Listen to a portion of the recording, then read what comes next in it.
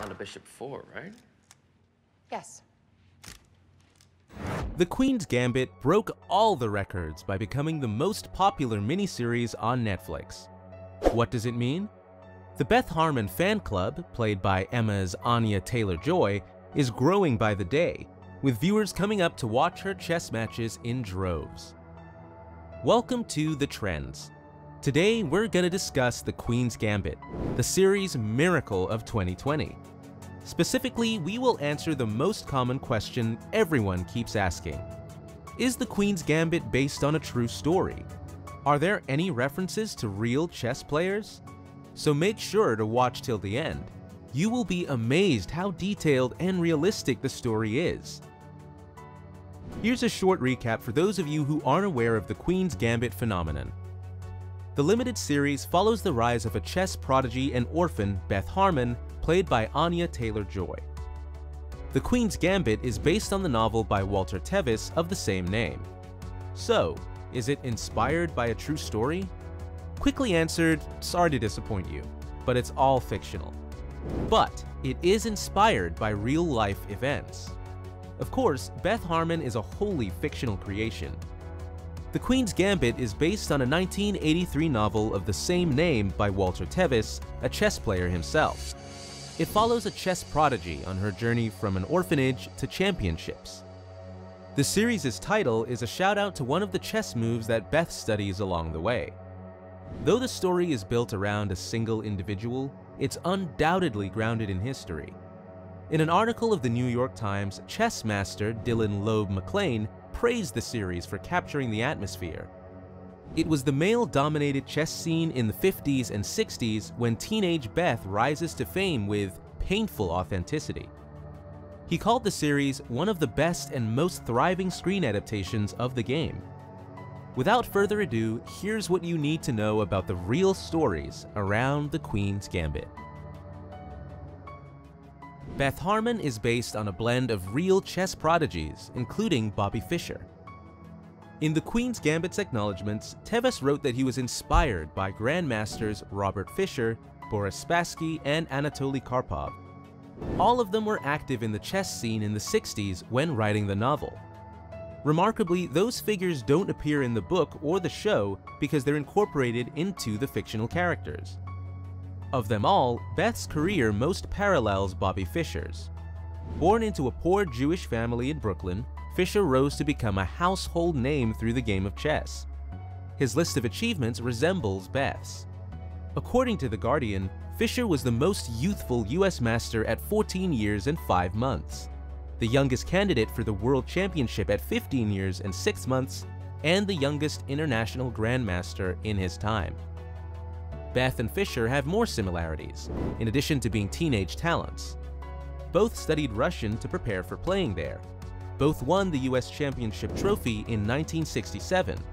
Both were tormented by inner demons, Beth by drugs, and Fischer by mental illness. Both were self-sufficient as teenagers. Actually, that's where the similarities end. As he aged, Fischer was as equally represented by his enigma as his chess skills. The Guardian reviews his behavior, which garnered him a bad reputation within the chess community. Fischer was labeled an unbearable diva and a psych-out artist who made life hell for tournament officials, and tried to confuse opponents by complaining about, among other things, high-frequency sounds that only he and numerous species of mammals could detect. However, the Queen's Gambit's final episode, where Beth plays Borgov in Russia, clearly imitates Fischer's famous 1972 match against the USSR's Boris Spassky. The New York Times reviewed the match's importance. Fischer's victory was widely seen as a metaphorical triumph of democracy over communism, and it turned the new champion into an absurd and dubious American hero. Fischer ended up with the World Chess Championship before disappearing for 20 years, only to re-emerge to play Spassky again in 1992. Fischer passed away 12 years ago at the age of 64 in Iceland. By the time, he had renounced his US citizenship and had totally devolved into paranoia. When he returned into the public eye, it was only to rage about the world order on radio shows, as NPR writes. Let's hope Beth's story ends on a happier note than Fischer's. However, The Queen's Gambit finishes on an open-ended note, with no guarantee of a second season. So who's to say? Walter Tevis also incorporated his strife with addiction into The Queen's Gambit. As a young girl in the orphanage, Beth gets addicted to a fictional sedative called Xanzolam. For this side of her character, Tevis drew from his own contacts with drugs. When I was young, I was diagnosed with having a rheumatic heart and given huge drug doses in a hospital. That's where Beth's drug addiction comes from in the novel, Tevis shared with the New York Times in 1983. Writing about her was purgative. There was some pain, I did a lot of dreaming while writing that part of the plot. But artfully, I didn't allow myself to be self-indulgent. The series' chess matches are modeled off actual games. According to McClain's expert eye, the mind games in the Queen's Gambit's matches are taken from famous competitions over the years.